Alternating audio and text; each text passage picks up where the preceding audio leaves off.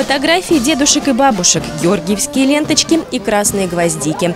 На марше памяти в восьмом микрорайоне нет равнодушных людей. Здесь, в народном строю, ветераны Великой Отечественной, внуки и правнуки победителей. И хотя последние о войне знают понаслышке, для них участие в шествии – святая обязанность перед теми, кто ценой своей жизни подарил жизнь нам. Мы обязаны помнить, чтить, уважать всех тех, кто пал за нашу Родину.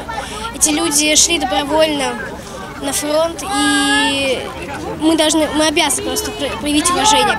Мемориал в деревне Глазынина – первая остановка марша памяти. На отреставрированном монументе имена ушедших на фронт и не вернувшихся домой жителей деревни. Наша главная задача – это пронести вот эту память через поколение дать вот это светлое зерно нашему подрастающему поколению, потому что, ну, ни для кого не секрет, то, что ветеранов с каждым годом становится все меньше и меньше. На первом марше, если с нами их шло порядка 100 человек, то сейчас не наберется уже и 20. Сейчас сложно представить, что на 22-м километре Минского шоссе когда-то был госпиталь. Умерших там бойцов хоронили в лесу рядом с Глазынином. Монумент на братской могиле появился в конце 60-х годов прошлого века. Моя прабабушка была зенитчицей. Мой прадед дедушка был красноармейцем. Иваны, не помнящие родства. Это не про современную молодежь.